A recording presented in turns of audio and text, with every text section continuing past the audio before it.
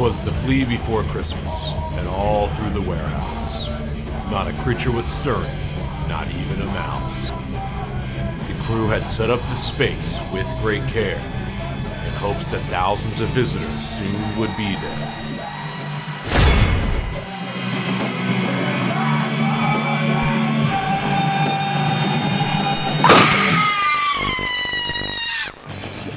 I promise to dispose of my trash in the proper receptacles flea market! What market? Oh, the Dry Punk Rock Flea Market!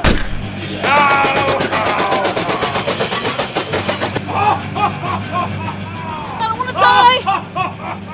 I've been sampling all the food, the food trucks at the Trenton Punk Rock Flea Market!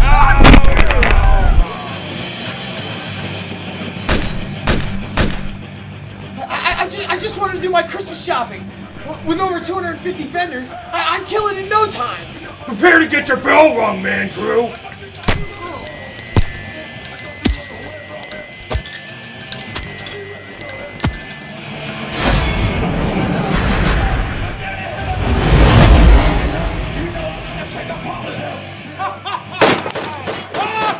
Dropped in for eight other punk rock flea markets, but will you survive this time? The Trenton Punk Rock Flea Market, Holiday Edition 2015. Sunday, Bloody Sunday.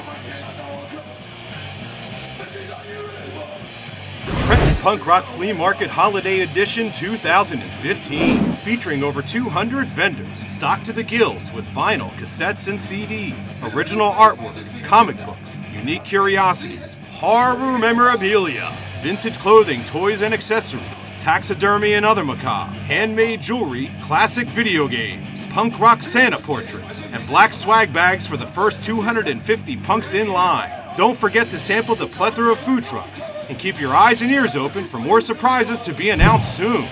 Like our Facebook page and check back often for the full scoop.